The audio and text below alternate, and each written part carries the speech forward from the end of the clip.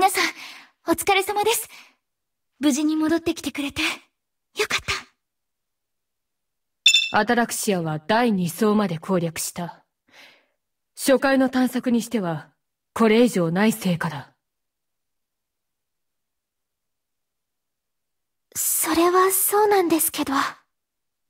ボスは金切り声でのた打ち回って苦しんで。その上、最後の主導権はデウスに取られて、しかも、あんな殺し方。正直、後味は最悪ですよ。素直に喜べませんね。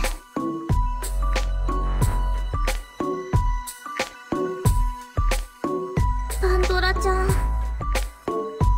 敵、なのに、なんだかかわいそうだった。本当、大変な一日でした。さすがに、少し疲れましたね。アタラクシアの攻略は終了だ。連絡があるまで通常業務に戻るんだ。今はデウスの出方を伺う他にありませんから。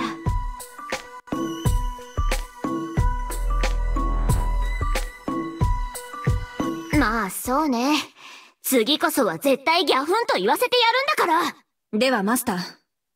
ひとまず解散でいいですか？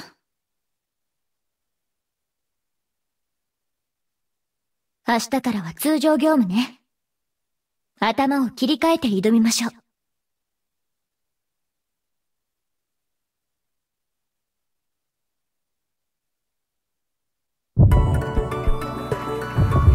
必要なものは揃った。大丈夫だよ、パンドラ。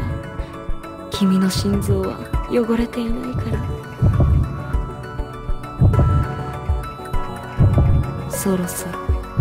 目覚めの時間。がこの神の箱庭に凄惨なる産声を響かせようじゃないか。